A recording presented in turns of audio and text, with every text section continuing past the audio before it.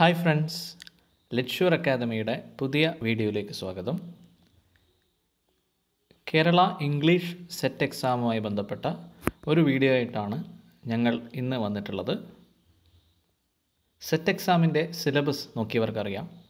അതിലൊരുപാട് തരത്തിലുള്ള പോയറ്റ്സിനെ പറ്റി നമുക്ക് പഠിക്കാനുണ്ട്. പല കാലഘട്ടത്തിലുള്ള പല കാര്യങ്ങൾ കൊണ്ട് ഒരേ ഗ്രൂപ്പുകളിൽ ആയിട്ടുള്ള പോയറ്റ്സിനെ പറ്റി പഠിക്കാനുണ്ട്. അത്തരത്തിലുള്ള ഒരു ഗ്രൂപ്പാണ് പിങ്ക് പോയറ്റ്സ് പിങ്ക് പോയറ്റ്സ് അഥവാ പൈലൺ പോയറ്റ്സ് അല്ലെങ്കിൽ ഓഡൻ ഗ്രൂപ്പ് എന്നൊക്കെ ഇതിന് പറയാറുണ്ട്. അപ്പോൾ ഈ ഒരു ഗ്രൂപ്പ് ഓഫ് പോയട്രി എന്താണ്? അതിന്റെ സവിശേഷതകൾ എന്തൊക്കെയാണ്? ഏത് തരത്തിലാണ് മറ്റ് പോയറ്റ്സുമായിട്ട് ഈ പോയറ്റ്സ് വ്യത്യാസപ്പെട്ടിരിക്കുന്നത് എന്നൊക്കെ നമുക്ക് നോക്കാം.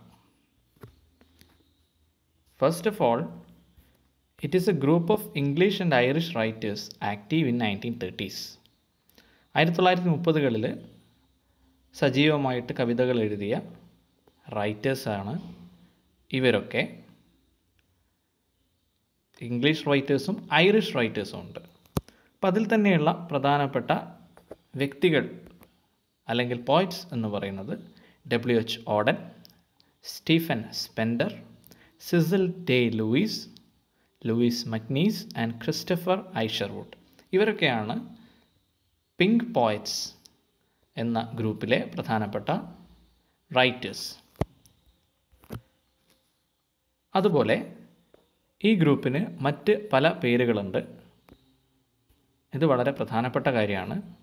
കാരണം പിങ്ക് പോയറ്റ്സ് എന്ന പേര് കൂടാതെ Auden group Oxford poets pylon poets new signatures എന്നൊക്കെയുള്ള പേരുകൾ ഈ ഗ്രൂപ്പിനുണ്ട്.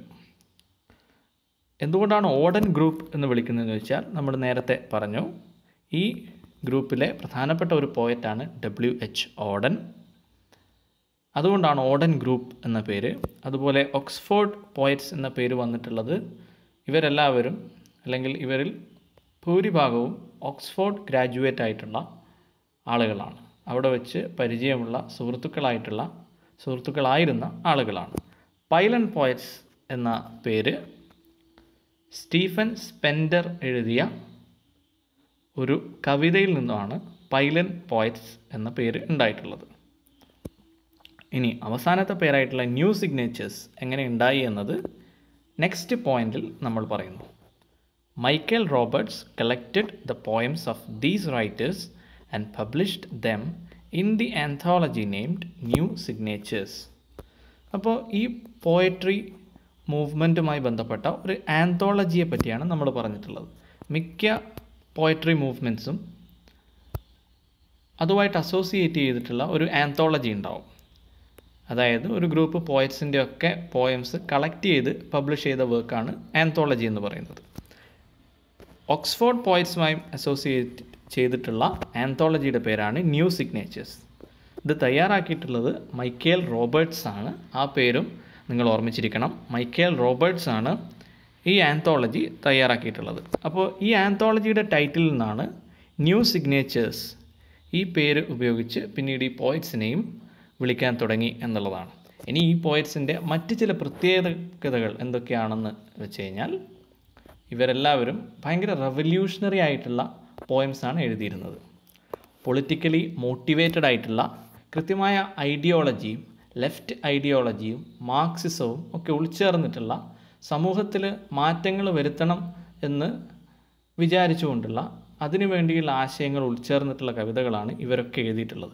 അപ്പോൾ ഈ ഒരു പൊളിറ്റിക്കൽ സീലാണ് ഈ ഒരു ഐഡിയോളജി ചേർന്നിട്ടുള്ള ലെഫ്റ്റ് ഐഡിയോളജി പ്രൊപ്പഗാൻഡ എന്നതിന്റെ ഭാഗമായിട്ടുള്ള പോയംസാണ് ഇവരൊക്കെ എഴുതിയിട്ടുള്ളത്. അപ്പോൾ ഇതാണ് ഈ ഗ്രൂപ്പിന്റെ ഒരു പ്രത്യേകത. ഇത്തരത്തിലുള്ള പൊളിറ്റിക്കലി മോട്ടിവേറ്റഡ് ആയിട്ടുള്ള പോയംസാണ് ഇവർ എഴുതിയിട്ടുള്ളത് എന്നതുകൂടി നിങ്ങൾ ഓർക്കുക.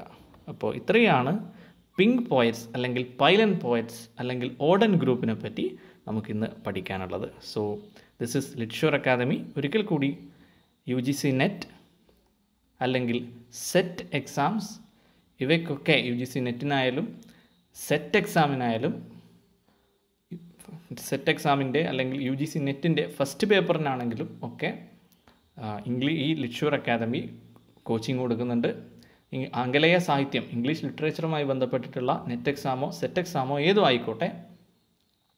അതുപോലെ തന്നെ നെറ്റ് എക്സാമിന്റെ first paper general paper mathematics reasoning പോലെയുള്ള വിഷയങ്ങളിലും ലിറ്റ്ഷൂർ അക്കാദമി കുറഞ്ഞ നിരക്കിൽ കോഴ്സസ് ഓഫർ ചെയ്യുന്നു എന്നുകൂടി ഓർമ്മിപ്പിക്കുന്നു. ഈ വീഡിയോ ഇഷ്ടപ്പെട്ടെങ്കിൽ ലൈക്ക് ചെയ്യുക ഞങ്ങളുടെ വീഡിയോസ് എളുപ്പത്തിൽ ലഭ്യമാകുന്നതിന് വേണ്ടി സബ്സ്ക്രൈബ് ചെയ്യുമല്ലോ. This is all for today thank